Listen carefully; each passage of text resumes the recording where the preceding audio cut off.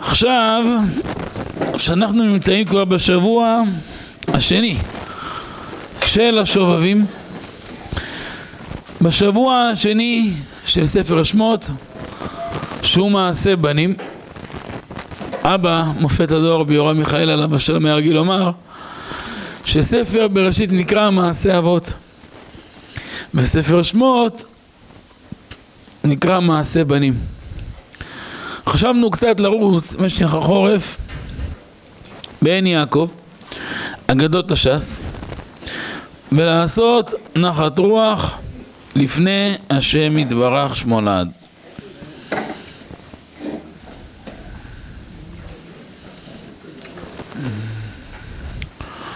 בגמרא הקדושה ברכות אמרו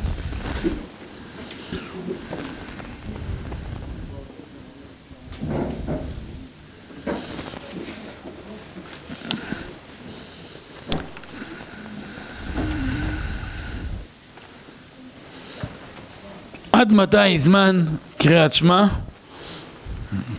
של ערבית? קריאת שמע עניינה קבלת עול מלכות שמיים. עול מלכות שמיים זה עיקר האדם. דיברנו כבר באריכות בזה שעניין של עול מלכות שמיים זה עיקר האדם. בוקר וערב. וההשגה של האדם כל היום תלויה בעומק הכוונה של קריאת שמע של בוקר, שחרית ושל ערבית. בזה אדם מגלה את אהבת השם שבקרבו ומצוות עשה דאורייתא. הנפקא מינה הפשוטה, גם אדם שעובד. למשל כמו עכשיו חורף, הלילה יורד מוקדם, כבר בחמש עושים ערבית. יש לאדם שיעור קבוע, כל ערב בין שבע לתשע שיעור. יש לו מניין קבוע גם, בשעה שמונה, בשעה תשע. עכשיו הוא בשעה חמש באמצע העבודה. והגיע הזמן של הערבית. לכתחילה, לכתחילה, אם יש לו שלוש דקות פנויות, מצווה גדולה, שיקרא קריאת שמע. לקיים מצוות עשה, דאורייתא בזמנה. במשנה, תחילת הש"ס, וזה רבנו הקדוש פתח את הש"ס, ממתי קוראים את שמע בערבית? ממתי התחלת זמן קריאת שמע? אז המשנה אומרת לנו, משעה שהכהנים נכנסים לאכול בתרומתם. בזמנם, דיני טומאה וטהרה נהגו קצת שונה מהיום. מה שהיום לא כל כך נוהג, הרבה מדיני טומאה וטהרה לא נוהגים היום, ופעם כן היה נוהג. כהנים שנטמעו דרך הארץ. יש מצב שאדם לא טהור בכל מיני סיטואציות. אז היום אדם טובל ונגמר.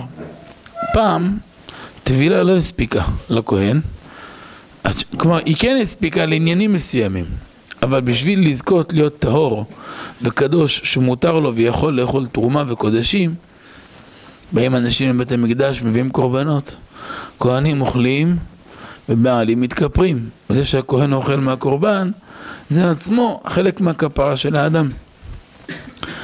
אז אצלם לא מספיק רק טבילה, צריך טבילה וערב שמש. נגיד הוא יטבול באחד, שתיים בצהריים, ויחכה שירד הלילה. הגיע חמש בערב, ירד הלילה, זהו. עכשיו הטהרה הושלמה. אז ברגע שהושלמה הטהרה, הם מחכים על הדקה, על הקשקש. איך שרואים שיצאו שלושה כוכבים, מיד הם נכנסים לאכול בתרומתן. לנו אסור לאכול תרומה. למה? כי קודשים זה דבר חמור, ואסור לאכול קודשים סתם. אבל כהנים זה חלק מהתפקיד שלהם. עד מתי? אז במשנה אמרו שלוש דעות. דעה ראשונה, עד סוף השמורה הראשונה. אם תיקח את הלילה, תחלק אותו לשלוש חלקים. והגמרא נחלק הוא רבי ורבי נתן. לכמה מחלקים את הלילה. אם ניקח ממוצע 12 שעות, 12 שעות, כאילו גם אם זה עכשיו כמו עכשיו חורף, לילה יכול להגיע ל-14 שעות, אבל מתחלק תמיד ל-12. זה נקרא שעות זמניות. עכשיו, בתקופה של החורף, היום קצר והלילה ארוך. היום קצר בערך עשר שעות. היום מתי עמדנו לעמידה? כמעט רבע לשבע. נכון? בבוקר נץ, 43 אולי. והלילה, היום מתי, נגיד רבע לחמש, כבר נגמר היום, כבר שקיעה, עשרה לחמש, זה כמעט 14 שעות. עשר שעות בקושי יום, אז יש לך 14 שעות לילה. בכל מקרה מחלקים את זה, מחלקים את זה בכל מקרה ל... ל-12-12, זה נקרא שעה זמנית. לפי זה יצא ששעה של יום עכשיו בחורף, יצא בערך 50 דקות זה שעה, שעה זמנית. ושעה של לילה זה בערך, בערך 70 דקות, פלוס מינוס, אבל לעולם זה יתחלק ל-12. תיקח את ה-12 האלו ותחלק אותם לשלוש או לארבע חלקים. אז אם שלוש, יצא ארבע שעות זמניות. נגיד בסביבות תשע בערב, תשע ומשהו נגיד, זה יצא סוף השמורה, זה סוף שליש ראשון, סוף שליש שני נגיד בערך באחד בלילה, שליש שלישי בערך בחמש בבוקר, פלוס מינוס. אז אם תחלק את זה לשלוש חלקים. וככה אומר, אומר רבי אליעזר הצפה, השמועה הראשונה, סוף שליש ראשון של הלילה, שמה נגמר הזמן של קריאת שמע שרבית. הלכה לא ככה. חכמים אומרים עד חצות, קח את הלילה, תחצה אותו. גם בכלל, איך קובעים זמן חצות? כתבנו בזה באריכות בחלק הארץ, חלק שמיני. עוד לא יצא, תכף יצא בעזרת השם. שביעי, שמיני, תשיעי, זה מהלך אחד בעזרת השם, תכף יזכן השם ישלים אותם, את תשיעי ויצא ביחד בעזרת השם. אז בחלק שמיני כתבנו בעזרת השם יתברך מהלכים עמוקים מאוד בזה. דעה רווחת היום, מה שנהגו ברוב העולם, איך מחשבנים זמן חצות. לוקחים מהזריחה לשקיעה, מחלקים את זה ל-12. כמו עכשיו נגיד, זה יצא בערך 50 דקות זה שעה, חלקי 12. ומהנקודה של החצי, 12 שעות שוות. אם נגיד יצא לנו סתם דוגמה, 11 וחצי למשל. סתם אומר בערך, נגיד. 11 וחצי בבוקר, נגיד זה חצות, לפי השעון של היום. כך 12 שעות שוות, שכל שעה זה 60 דקות. מ-11 וחצי, 12 שעות, 11 וחצי בלילה. אז היום חצות יהיה 11 וחצי בלילה. יש עוד עוד אחרות, אבל זה לא העניין כעת. בזוהר מביא שכנגד שלוש משמרות של הלילה, כאן בגמרא הביאו, בהמשך הגמרא, שקדוש ברוך הוא שואג כארי. הכוונה שיש צער גדול בסוף כל משמרה בלילה, יש צער גדול. הקדוש ברוך הוא על הגלות, על הצער שעוברים עם ישראל. אין לך אדם מסכן בלי כמה חבילות של ייסורים עליו. זה בזוגיות שלו קשה לו, זה בילדים, זה מסכן, הכל בסדר בזה, אבל הבריאות לא כל כך טובה. זה ברוך השם בריאות טובה, אבל יש לו ייסורים אחרים, וזה העניות, וזה צער כזה, וזה השכנים, וזה כל מיני מכאובים שיש לבני אדם. כמעט אין לך אדם בלי איזה כמה דאגות על הלב. הקדוש ברוך הוא מצטער, הגמרא אומרת שיהודי מצטער מכל סיבה שבעולם. שכינה, מה הלשון אומרת? קלני מראשי, קלני מזרועי. ברוך אתה אדוני אלוהים מלך העולם, שהכל נהיה מדברו. הלילה זה לילה קדוש מאוד, תנצלו אותו. הילולה של האדמו"ר הזקן בעל התניא. יום הפטירה שלו, י"ט כסלו זה הגאולה שלו. מהאיסורים, והלילה זה הפטירה שלו. זה כמו ל"ג בעומר של רשב"י, הילולה של הצדיק, זה לילה של אדמו"ר הזקן. נדר באשדוד, שיעור שעתיים מסביב הצדיק. אדמו"ר הזקן, בעל התניא בעזרת. הילולה שלו לילה גדול, כל מי שיעשה את זה לחיים, חבל לכבוד הצדיק, הקדוש, רבי שניאור זלמן, מנדי בעל התניא, זכותו יגן עלינו. בזוהר מובא, מבואר, נביא את זה בהמשך המהלך, נספיק. שכנגד השאגות של הקדוש ברוך הוא בכל לילה, יש שאגות של השכינה הקדושה. למה? כל לילה, בכל שלב בלילה, היא נסגרת מה היה בבית המקדש קורה באותו שלב. בבית המקדש לא היה רגע הרפאיה. היה 24-7. כל הזמן היה תפקוד. המקום היה פעיל מאוד. וגם היה מאוד מאורגן המקום. היה מאורגן יותר מצבא. הכל היה מתוקתק על השניות, על הדקות. הכל היה נוצץ, הכל היה מבריק. והיה כל הזמן משמרות. אדם מביא קורבן, תחשוב כמוך יש מאה אלף, מיליון, שתי מיליון, עשר מיליון. גם גויים היו מביאים קורבנות להשם. כל אדם בעולם היה מגיע. הקדוש ברוך אמר לשלמה המלך, לקבל את כולם. רק מי שעובד עבודה זרה לא מקבלים אותו. מכאן היה אומר רבא, עטרת ראשנו. תראה כמה הדבר החמור.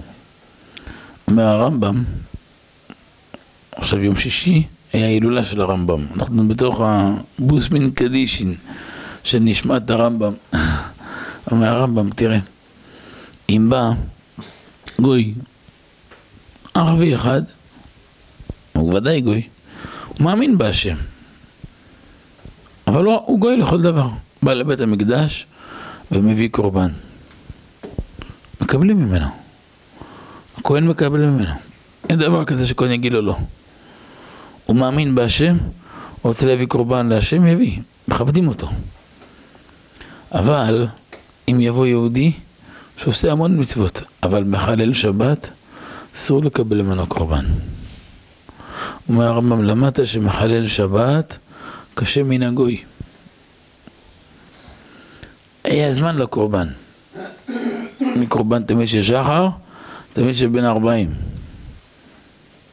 פלג המנחה כבר זהו, נגמר. נגיד שלוש בצהריים, זהו, נגמר קורבנות. אבל כל הקורבנות שהקריב משה היום, כל האיברים הפנימיים שלהם, חלבים, חלב, איברים פנימיים, כל מיני עניינים, מקטירים אותם כל הלילה על גבי המזבח. הפסוק אומר, אש תמיד תוקד על המזבח, לא תכבה. דרך אגב, בשלה הקדוש מבואר שהפסוק הזה טוב לאדם להיות רגיל בו הרבה, גם לטהרת המחשבה.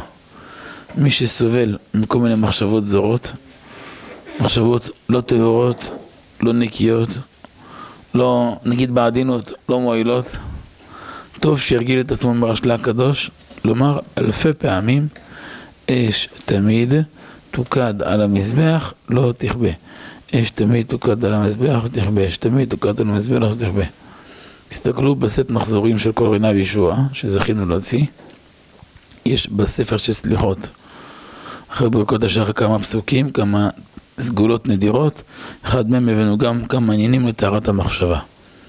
עוד מעט יצא סידור מושלם, מפואר של אמיר אל הארץ עם כוונות, גם שם זה מופיע בעזרת השם. מאוד מאוד יפה. אה, והעניין של הפסוק הזה, לסייע לאדם בטהרת המחשבה. לפי גודל טהרת המחשבה, גם יהיה זיכרון. לעולם זיכרון וטהרת המחשבה זה הולך ביחד. כמו שתגיד לי, קנית אוטו, קנית עכשיו רכב חדש. זה עם הגלגלים או בלי הגלגלים? אה? מה, מה אתם אומרים? משה, קנית אוטו עם גלגלים או בלי גלגלים? בלי גלגלים. אה, מה תעשה בלי גלגלים? אוטו בלי גלגלים זה אנדרטה, זה מחסן. חסר מחסנים בבית, צריך עוד מחסן בחוץ. האפקט של האוטו זה הגלגלים שלו. זיכרון זה פועל יוצא של טהרת המחשבה. זה לא נפרד. כמה שהמחשבה של יהודי טהורה יותר, נקייה יותר, הכל מבריק. כתוב בהקדמת שער הייחודים. רבי נורי אומר שמה שנפש האדם דומה לתס של נחושת. הנחושת, יש לו תכונה מאוד מעניינת. רגע, לא עשיתי מיתי לחיים, מה זה שווה? מה, לכבוד בעל התניא לא מגיע לחיים? טוב, אני נותן לכם שלוש דקות לתרגן, למזוק לעצמכם. אפילו ככה לגימון, אתם לא משהו להחזיק. אם לא משה הצדיק יביא לנו תכף גם לחיים. אני עושה לחיים בקפה, אתם תעשו לחיים בקולה, גם אותו דבר. חיים לחיים.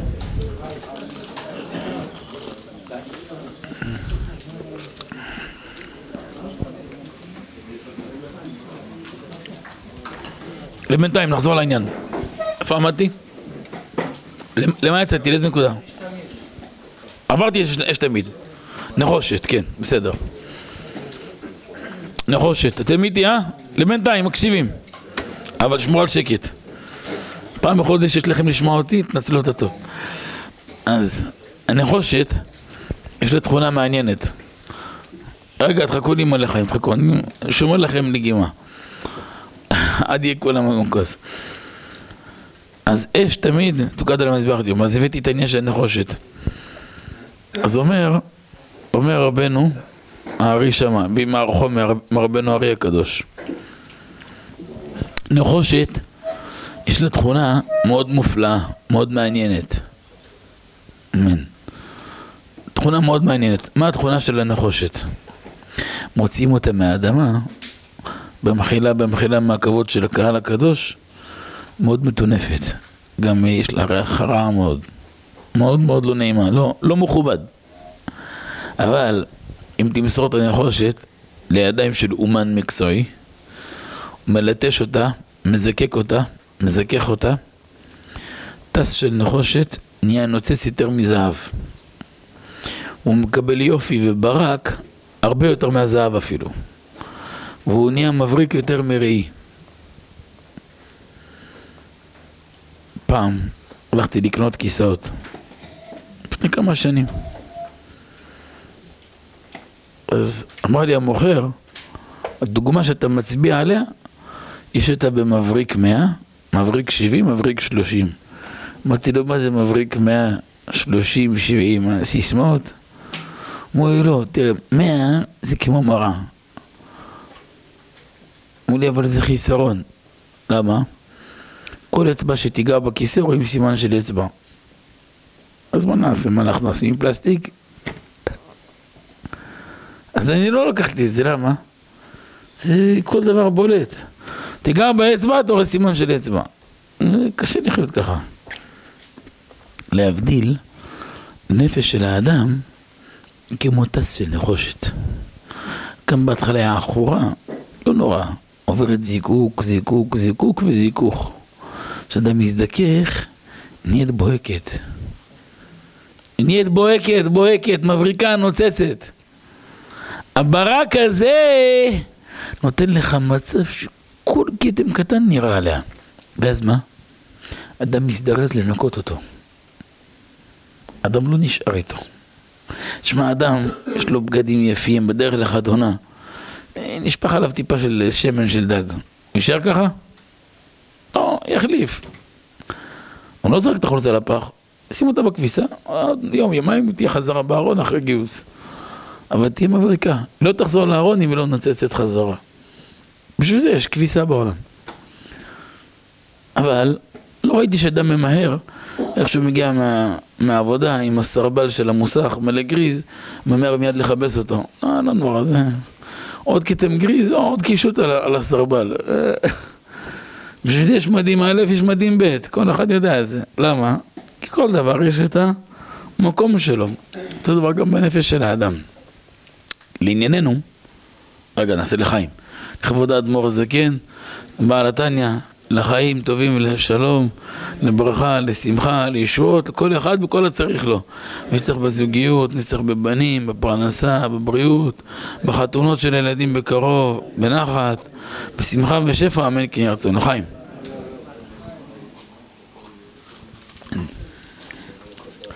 רוח שמו. אמן, יא ברטק. יאללה, חזרנו לעניין. ולכן, אשר אדם שמדקדק במצוות, שזה רק מועיל ומביא את האדם למקומות גבוהים מאוד. אחרי הדברים האלו תשימו לב. אז אומר הזוהר הקדוש, שהשכינה הקדושה, כל לילה, בכל סוף אה, משמרה, היא מקוננת, מסתערת. למה? היא אומרת, בשעה הזאת, שבית המקדש קיים, היה לי ככה וככה. בשעה הזאת היה ככה, בשעה הזאת היה ככה. ולכן יש ערך גדול בשמיים לאלו שלא מפסידים אף פעם תיקון חצות. זה כמה מזמורים שסידר לנו רבנו ארי הקדוש, שמעלה שמישהו אומר אותם כל לילה מאוד גדולה. מאוד מאוד גדולה. ממתי הזמן של זה? ארבע דעות. דעת רבנו ארי, דעת רבנו ארי הקדוש, שהוא זה שתיקן וייסד את התיקון חצות. הוא נקרא בלשון הפוסקים מרא דשמטתא. הוא בעל השמוע, בעל הממרה. מי? רגע של חצות. היום חצות 11 וחצי נגיד, אז 11 וחצי. משנה ברורה כתב, אפשר להתחיל 20 דקות לפני. תיקון רחל, תיקון לאה, נקרא לזה פתח אליהו, איך שיגמור, הגיע בדיוק חצות, ויש לזה מעלה מאוד גדולה. אדמו"ר הזקן, בעל התניא, שולחן ערוך הרב, בעל הילולה של הערב. כתב שעתיים לפני. 11 וחצי, תשע וחצי. אבל אמרו הפוסקים, תראה, כל הצדיקים, מעלה שלהם גדולה מאוד. מי אנחנו נגיד מדרגות בצדיקים? אנחנו לא הגרב של יום חול של הצדיקים. אה, אני יכול לדבר הרבה. אבל כן דבר ברור ומוסכם לכולי עלמא, שרבנו ארי, על אבא שלו, היה במדרגה כל כך גבוהה, שהוא היה היחיד שאמרו עליו, בקיא בכל מה שנעשה בעולמות העליונים, יותר משאדם בקיא בפרסדור של הבית שלו. כמו שאתה מכיר את הבית שלך בעל פה, ויותר טוב מזה, היה רבנו ארי מכיר כל העולמות העליונים. היה מדרגה שלו כמו שרבי שמעון ברוך חי בשעתו.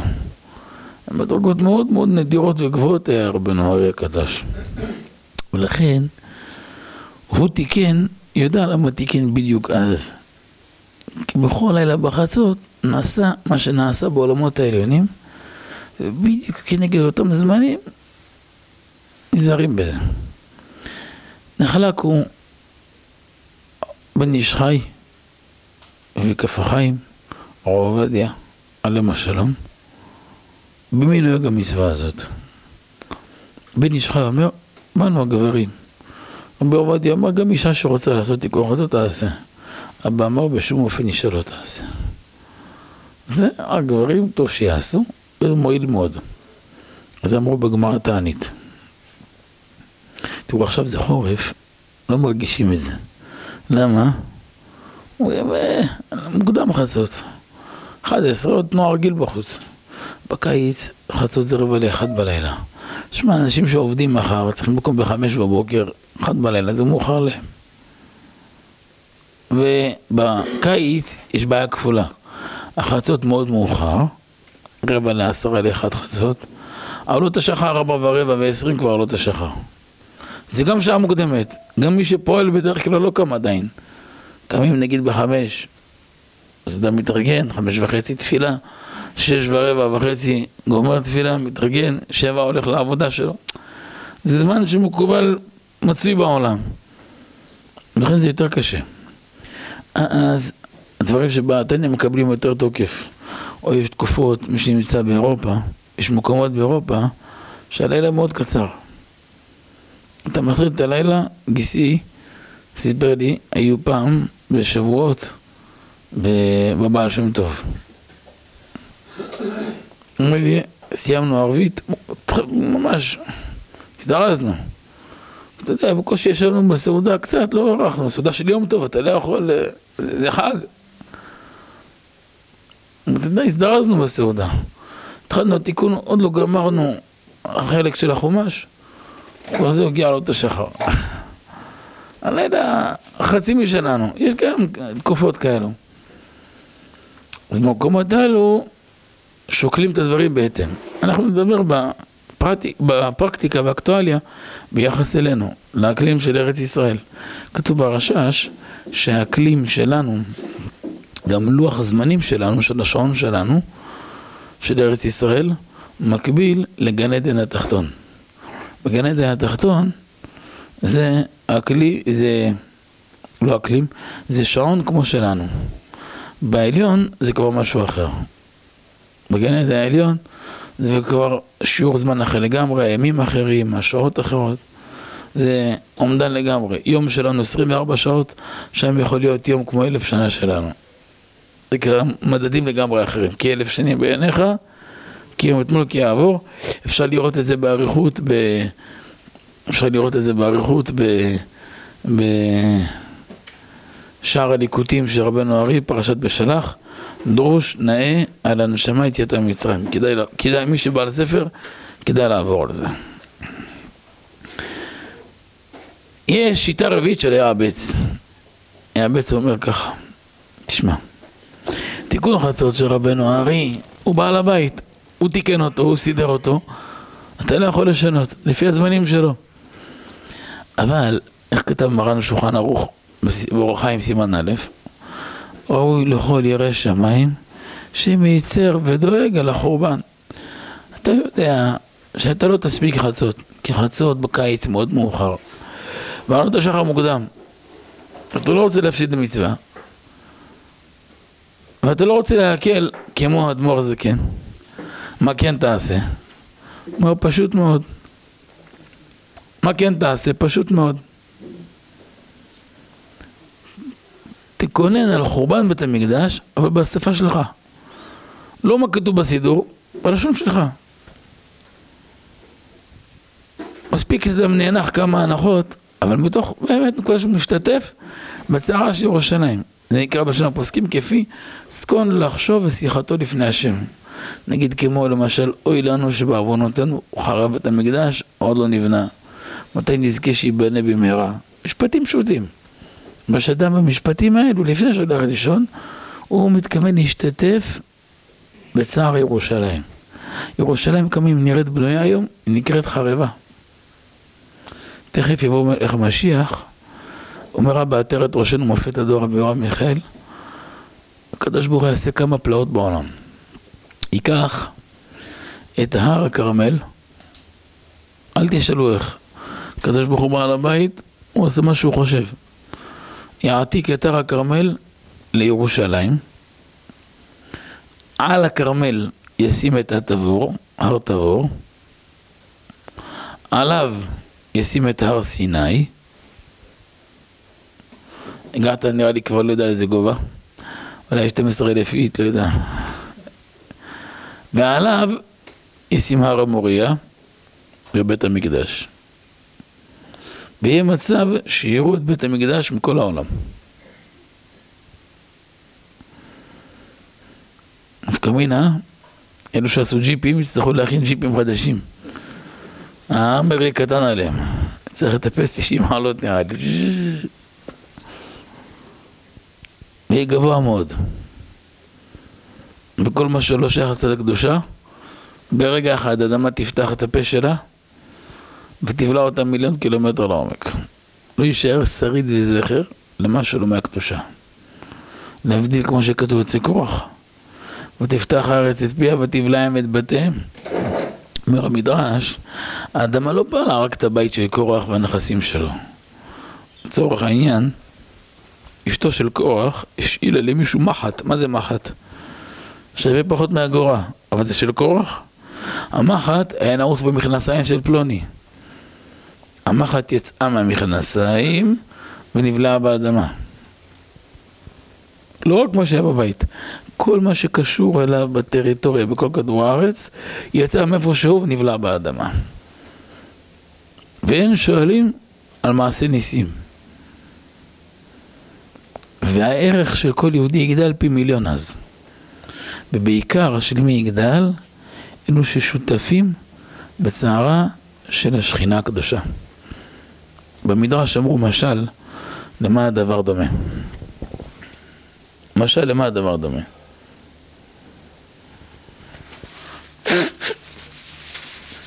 מחילה. במדרש אמרו משל, למה הדבר דומה?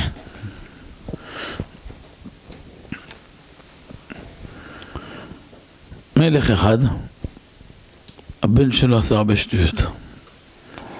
שמע, זה בן יחיד ומפונק. מצד שני, זה מה יש לו. אבא תרת ראשון היה אומר, אדם לא בוחר את הילדים שלו.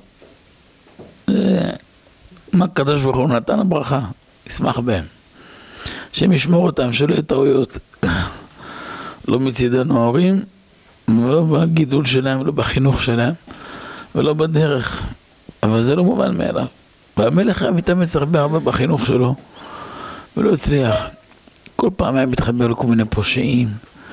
כל פעם אתה רואה איזה פיגוע במדינה, אתה בא להיכנס, לעקור את הרע, פתאום אתה מגלה שהבן של המלך בלב הסיפור. שמע, זה מפנצ'ר את כל הגלגלים.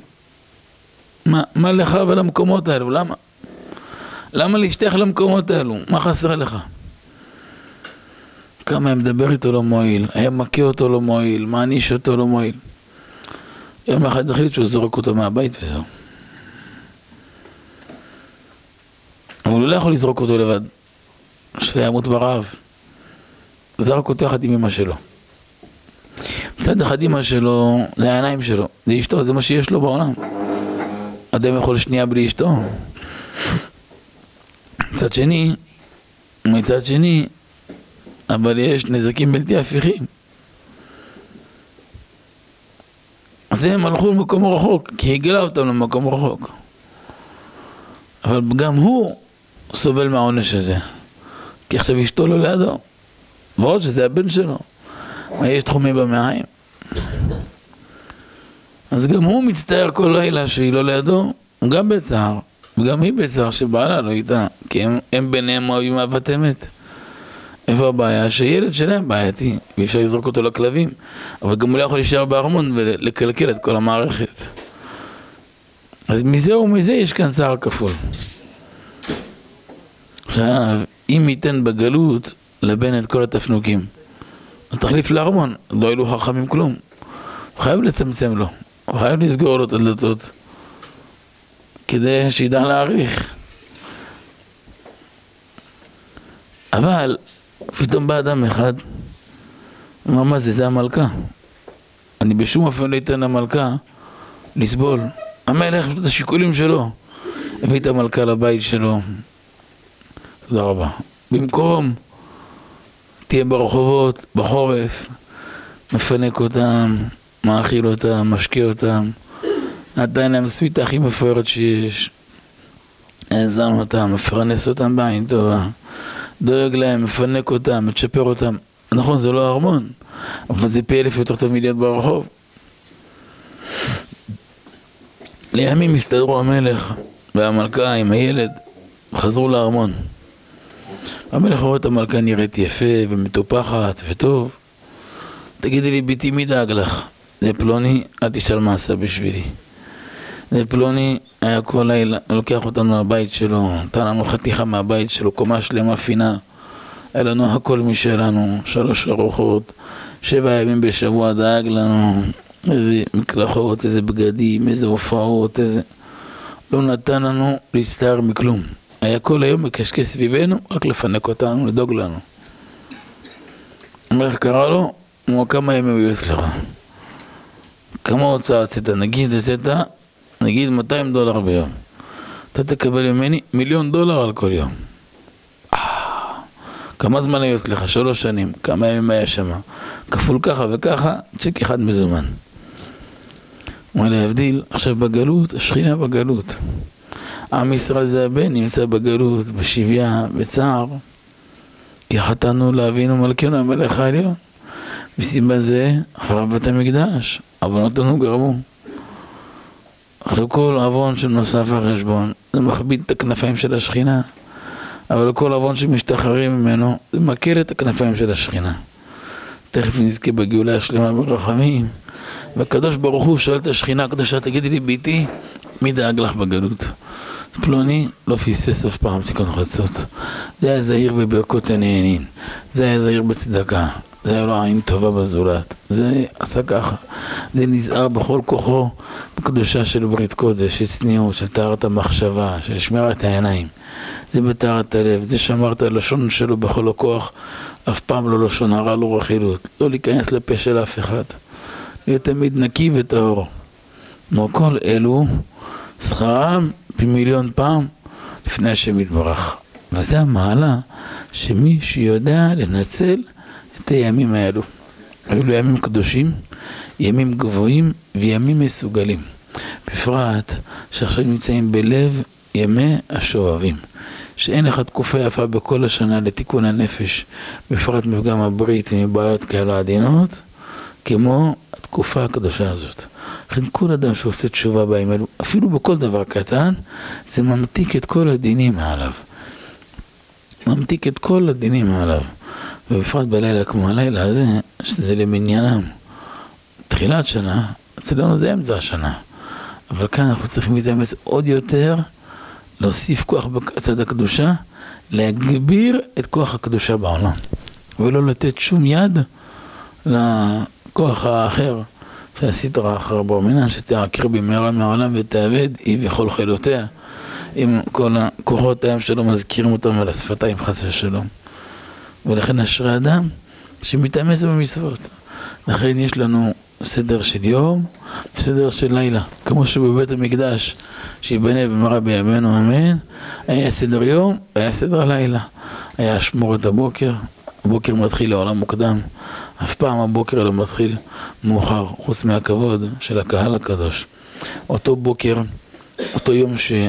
שהצליחו האויבים להיכנס ולהחריב בבית המקדש, אותו יום מה היה? אותו יום הם פספסו את הנץ. פספסו. כתוב שמה, סקותה בענן לאח מעבור תפילה. היו עננים כבדים כמו בחורף יותר מהחורף. אותו לילה לא ראו את הזרחה מרוב העננים שהיו כבדים, לא ראו את תעלות השחר. היום יש לנו שעון, יש לנו כל מיני מדע אלקטרוני שלא היה פעם. תראו דוגמה ברב פעלים, בן איש חי הקדוש דן, לגבי תיקון חצות עד מתי. אז הוא מביא שמה שלשיטתו תיקון אוכל חצי שעה לפני עלות השחר, למה? כי הם מסכנים, לא היה להם שעון. זה בערך שיהיה בטוח ככה. היום יש לנו שעון מדויק על השנייה. אז אנחנו לא צריכים לזמר רבי עובדיה, אז אנחנו מסתפקים, אמרו מזמן מדויק. להלכה אנחנו עושים עד מתי? זה תיקון רחל עד עלות השחר, תיקון לאט שש דקות אחרי עלות השחר. ממתי אמרתי לכם? ארבע דעות. עד מתי יש שמונה דעות. דעת אדמו"ר מקומרנה, וגם רבי נחמן מברסלב, עד שתיים בלילה. לא, הלכה לא ככה אבל. למה עד שתיים בלילה? רק אז זה זמן של צער למעלה. אחר כך הקדוש ברוך נכנס בגן עדן, עוסק עם הצדיקים בתורה, זה שמחה פורצת גדר.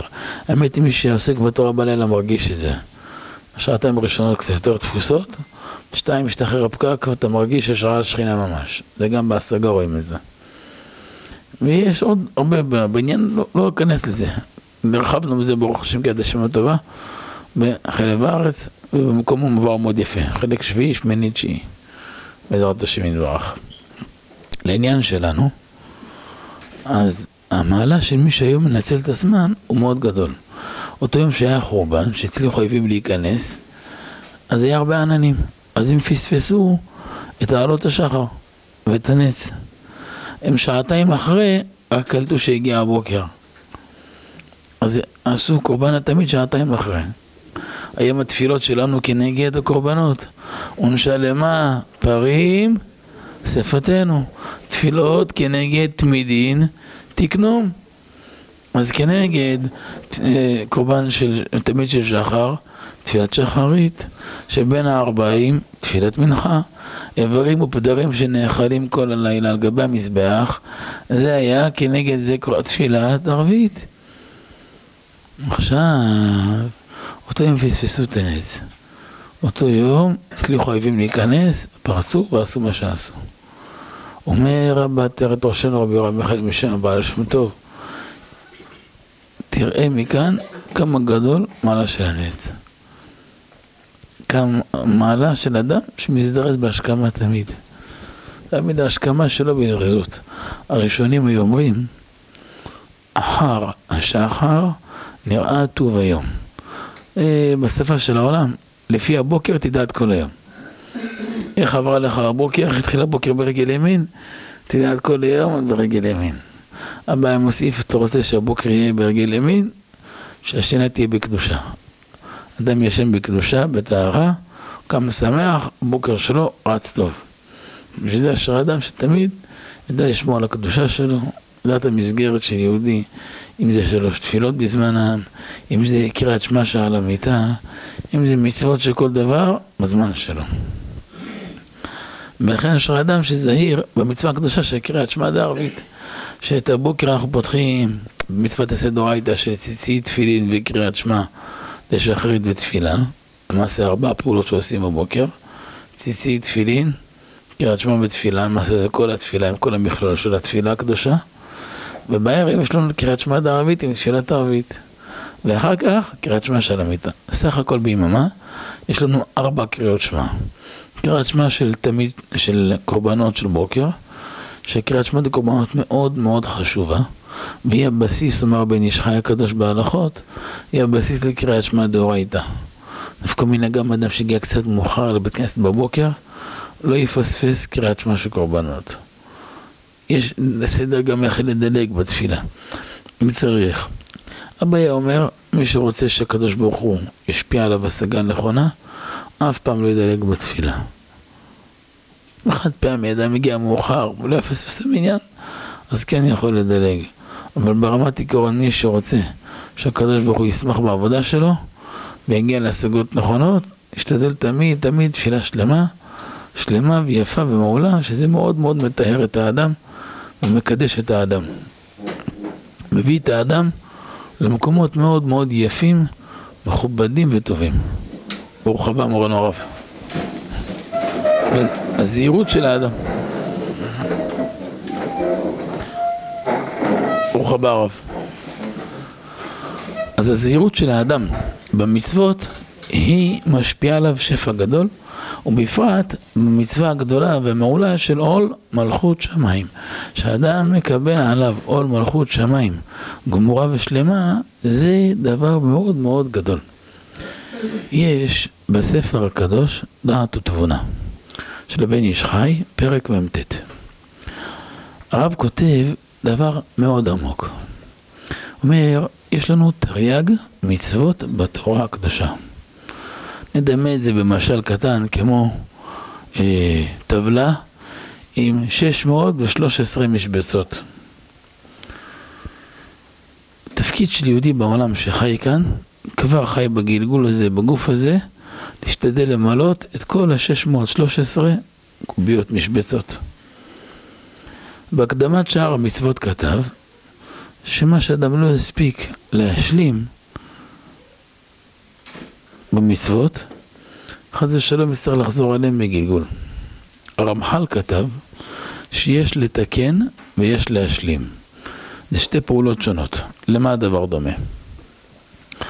אחד, קנה אותו חדש מהחברה. בשעה טובה, מתקשרים אליו בצהריים, יהודה, האוטו מוכן, אתה יכול להיכנס לסוכנות, עיר, כתובת רחוב, כנס מחר שמונה בבוקר, קבל את האוטו. יש סיבה להיכנס למוסך? לא, חדש, הכל אפס, הכל נקי, הכל ניילון. אבל גם אוטו חדש צריך להשלים, נגיד איזה אזעקה ונעילה מרכזית, ואולי חלון חשמל, ואולי איזה ריפוד, ואיזה ציפוי כזה, ואיזה פנס כזה, ועוד איזה מראה כזאת, ומצלמה כזאת. זה נקרא תוספות. ולהבדיל יש אחד, יש לו סוברו 88, אנטיקה. מי מכיר כבר את האוטו הזה? הוא עבר כבר איזה 300 מכות. יש סיבה להיכנס למוסך? אה, יש סיבה, סיבה גם לגור במוסך. להבדיל, יש אחד, יש לו חטאים ועוונות. זה צריך לתקן. לתקן את המעוות. אבל יש אחד שהוא נקי ברוך השם מן החטא, אבל צריך להשלים חלקים חסרים. למשל, הוא לא זכה לקיים מצווה כזו, מצווה אחרת. אז זה נקרא להשלים. אומר בן איש חי בדעת התבונה, פרק מ"ט שם. ומה שאדם זוכה על ידי לימוד תורה, זה מעלה על הכל. מה שאדם לא זכה על עוד תורה וקדושה, חוץ מהכבוד של הקהל הקדוש, בבית המדרש הקדוש הזה, בספרים הקדושים שיש כאן, חס ושלום, זה מתקן על ידי האיסורים. באים האיסורים, והם משלימים את הפערים. מוסיפה בעטרת ראשנו מהרוחיים הקדוש, ב"ויחי", סוף ויחי אמן. סוף פר... ב... על הפסוק, כיבס ביין לבושו, ובדם על נביא מסותו. מעין זה. אומר החיים הקדוש, הקדוש ברוך הוא לא רוצה לגאול עם שבטלני מהתורה הקדושה. צריך פרנסה, חייב פרנסה. אבל כנגד, מגיע הערב, שעה, שעתיים, שלוש, שיעור עם החכם. למה? שאדם לא יישן בלי תורה. גם אדם זוכה לקום בבוקר מוקדם, עוד שיעור תורה, מעלה גדולה מאוד. אור החיים הקדוש, כיבס, כל נשמה שנמצאת כאן בעולם, צריכה כביסה. מה התפקיד של הכביסה? היה כאן חולצה מלוכלכת, המכונה נקה אותה, הכתמים נעלמים. ואם לא הלך בכביסה הראשונה, עוד כביסה, ולא הלך, זה מסנט מוריץ, בסוף זה ילך, לא. חזקה נשותינו שלא יוותרו לשום כתם. וכל חולצה תגיע לארון, מגויסת, נקייה, מבריקה. אותו דבר, גם נשמות שבאו לכאן. המקובלים אומרים, בפרט הנשמות של הדורות שלנו, שזה סוף הדורות. זה סוף סוף סוף הדורות. או זה ממש הסוף, אז כל הנשמות בדורות שלנו מגולגלות. יש בזוהר משפטים, שם את העניין הזה. מי שחרב בית המקדש בשנית, כמעט, כמעט, כמעט פסקו נשמות חדשות לרדת לעולם. כולם מגולגלים. גם השאלה איזה גלגולים. יש גלגול של צדיק וגלגול של משהו אחר. אבל כל הנשמות בדור שלנו מוחזקים כמגולגלים. עכשיו, כל אחד כבר תיקן הרבה חלקים בגלגול קודם. אבל אנחנו לא יודעים מה כן, מה לא. לכן צריך להתאמץ בהכל.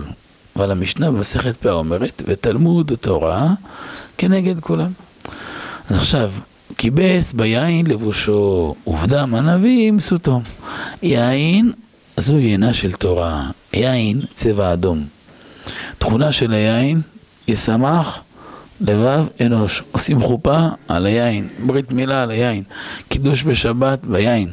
ובכן זה הדרך. כיבס ביין לבושו. זה רמז לתורה. שבתורה יש 70 פנים לתורה, יין גמטריה 70, וגם סוד, גם גמטריה 70. לא ללמוד רק נגלה של תורה, אלא כל פרדס התורה הקדושה. אם כי בוודאי שחייב להשקיע קודם כל ללמוד קרסו בש"ס, הפוסקים, כל הבסיס של התורה, אם זה ידיעת התנ"ך טוב, או גאון רבי חיים מוולוז'ין בנפש החיים כתב שהדבק של התורה, מי שמדביק את התורה במוח של האדם, כך למדתי מאבא עליו השלום, זה ידיעת התנ"ך. כך המשנה והמדרש, כמו שכתב בשער המצוות ואת חנן, אחר כך שעשו פוסקים שזה עמוד שדרה של התורה, אחר כך המבואות של העולם הפנימי והלאה. הביאני לבית היין, יינה של תורה.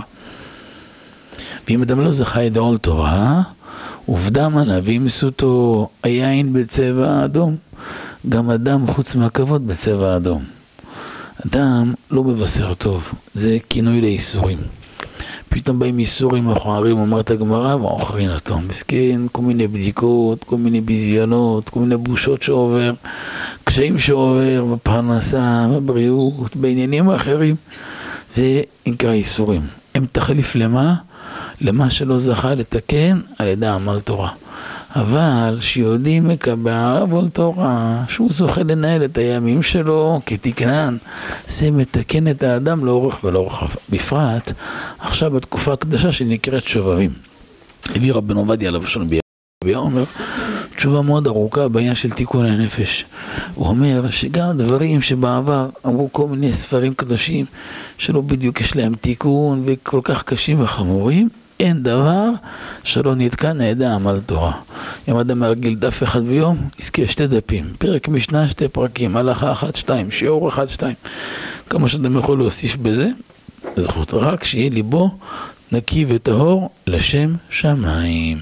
וזה דבר שמתקן את האדם לאורך ולרוחב. בהצטרף, שאמרו רבותינו, מקבל עליו עול תורה, מעבירים ממנו עול מלכות ועול דרך ארץ.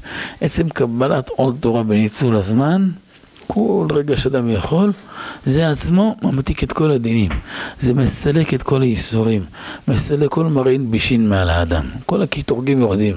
פתאום אפילו המיסים יורדים ממנו.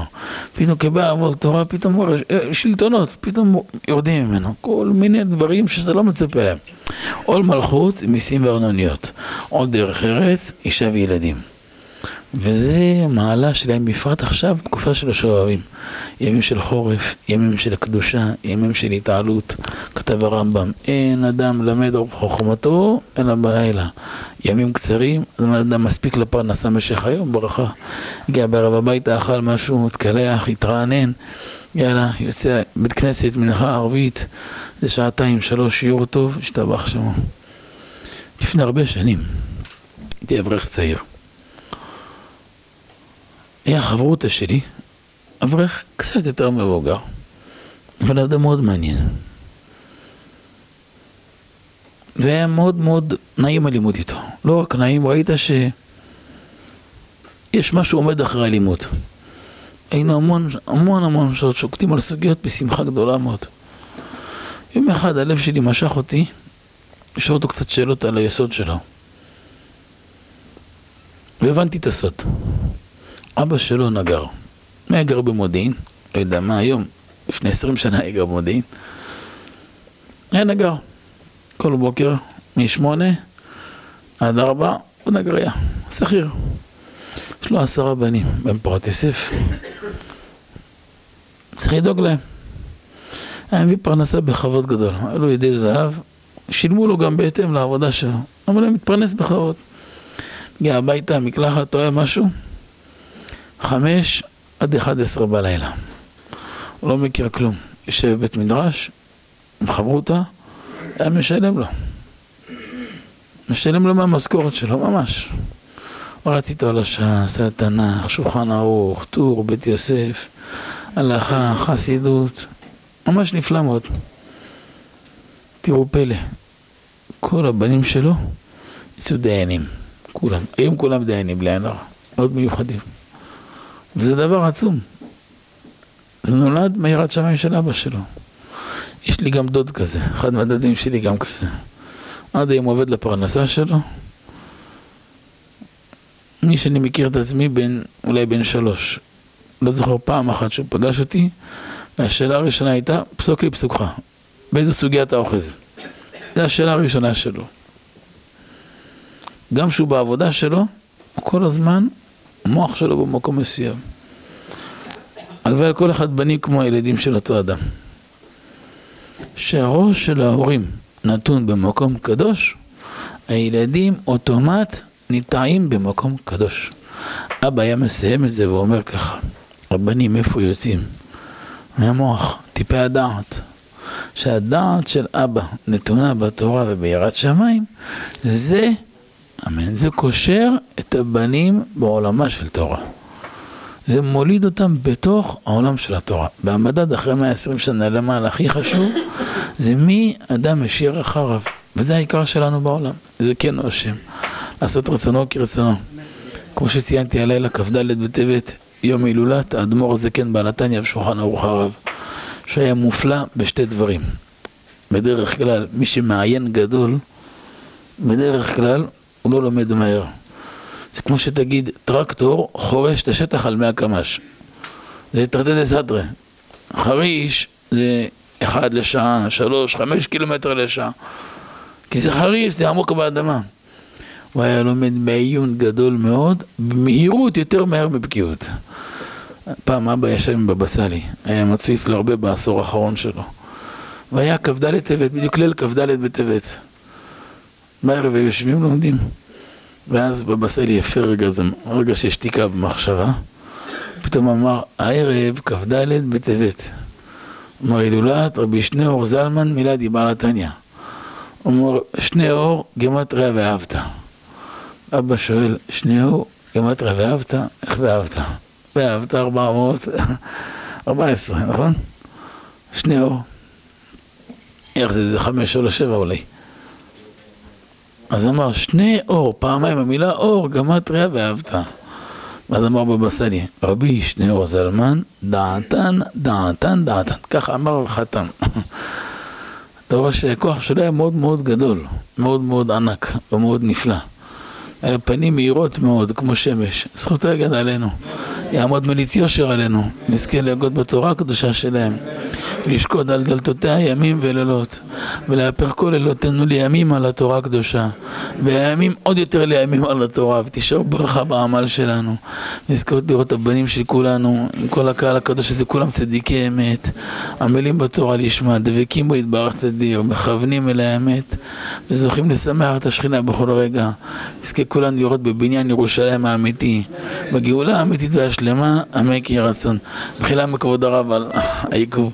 ברוך ה' לעולם, אמן ואמן. רבי, חנניה בן הקשיא אומר עושה הקדוש ברוך הוא זכו ישרפך הרבה להם תורה מצוות שנאמר אדוני חפץ למען צדקו יגדיל תורה ויאדיר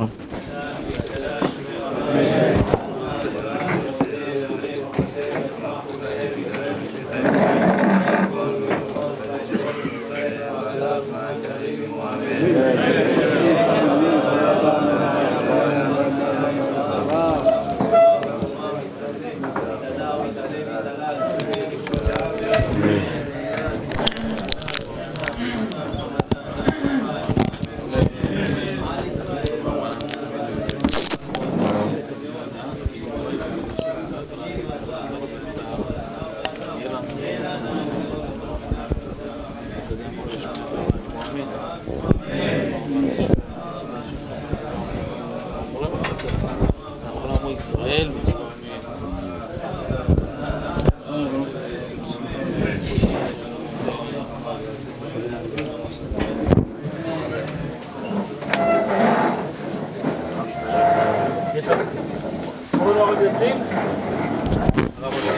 מורנו הרב יתחיל או ערבית? מה הרב מעדיף?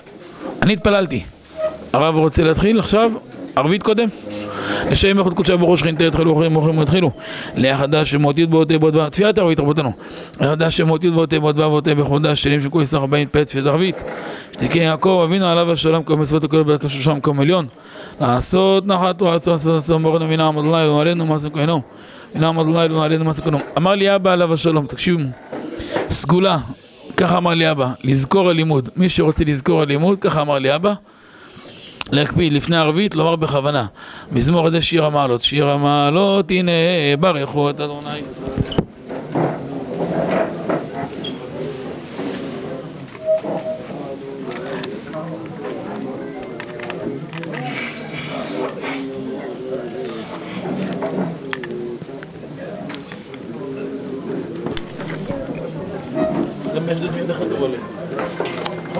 גם